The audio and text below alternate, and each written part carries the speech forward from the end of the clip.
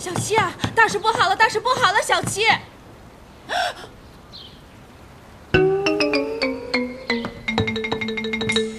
小七啊，你这是干什么的？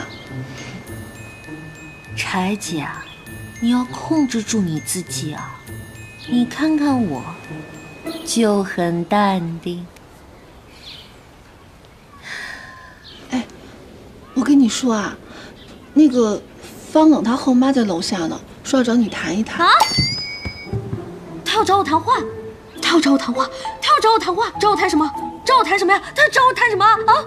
你刚才不是说要淡定吗？要安静吗？人家都已经到楼下了，我淡定什么嘛我？可是我也没见过他呀，他为什么找我谈话呢？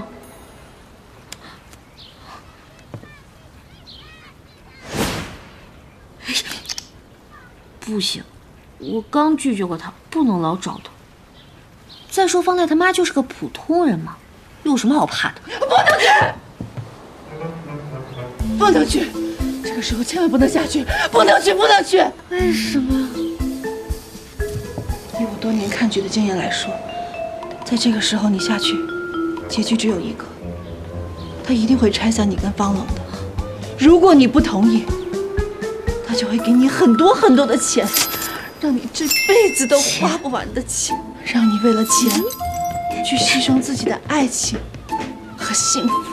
这种事情，怎么我就遇不到呢？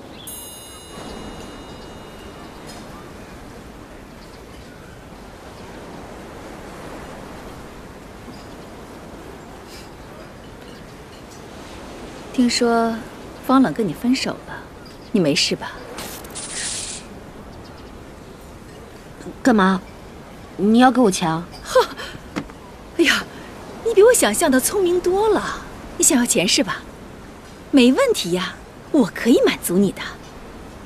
难道柴姐说的是真的？为什么？不就是一点补偿吗？你看，你跟方冷在一起。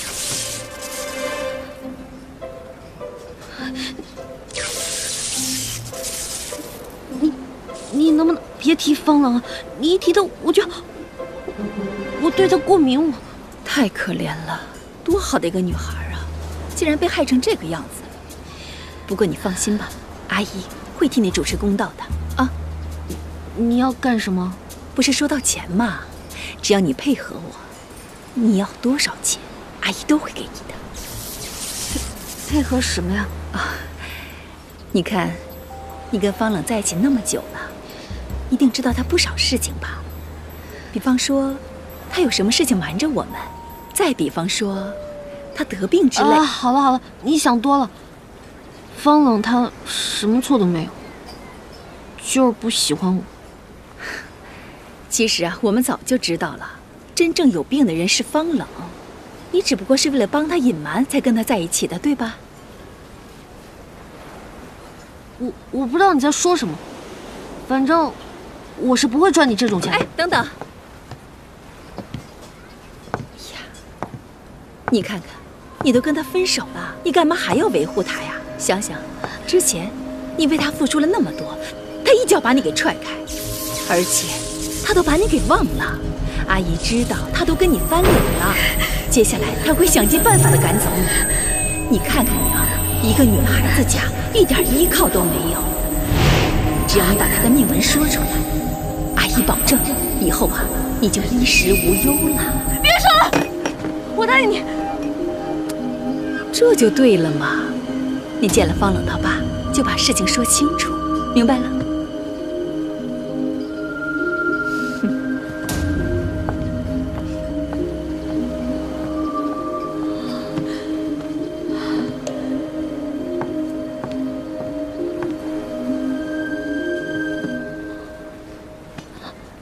柴姐，我是不是做错什么了？也不能怪你吧。不过这件事情真的很奇怪。怎么跟以往的剧情不太一样呢？人呢？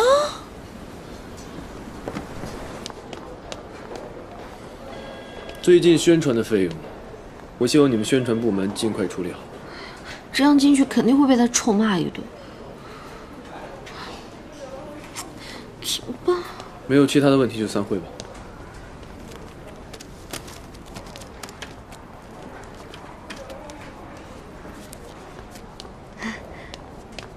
方朗，我这次真的有事儿找你，你能不能听我说一下？啊，方总，方总，我真的有很重要的事儿要跟你说。通知保安部，以后不要让乱七八糟的人进来。是，知道你不想见我，但是我这次真的没有胡闹，这儿说话不方便，你能不能听我说完？你相信我，我真的没有。哎呀，方总。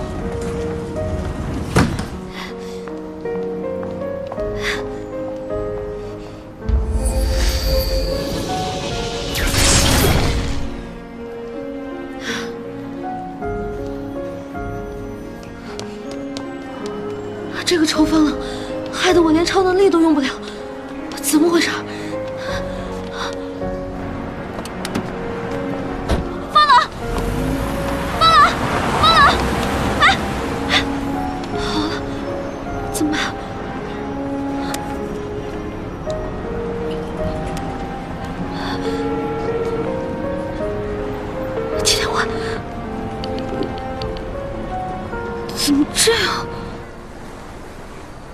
都几点了？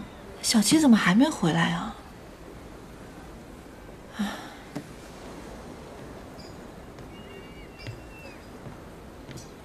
嗯，小七，你回来啦？怎么样？怎么样？我特意给你准备了你喜欢吃的蛋糕。告诉我，今天方乐有没有怪你啊？太好了！快点吃一口蛋糕。他根本就没理我。什么？嗯，怎么会这样子啊？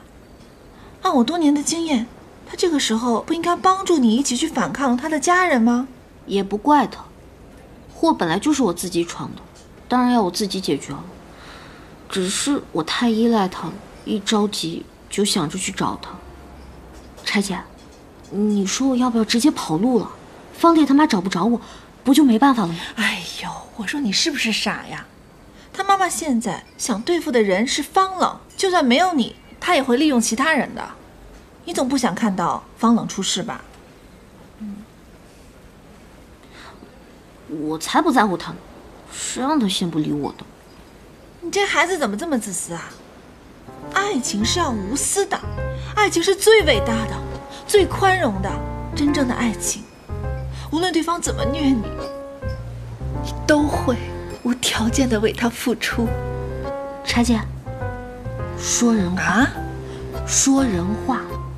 哎呦，就是让你紧紧的抱住方冷的大腿，懂吗？哎，不会的，就算我去帮助他，他也不会感激我的。我在他心里，不过就是他想擦掉的一个污点而已。难道你不想证明你自己吗？姐告诉你。一个女人的价值不是靠别人给的，而是靠自己活出来的。就算不是为了方冷，难道你不想在他父母面前昂首挺胸吗？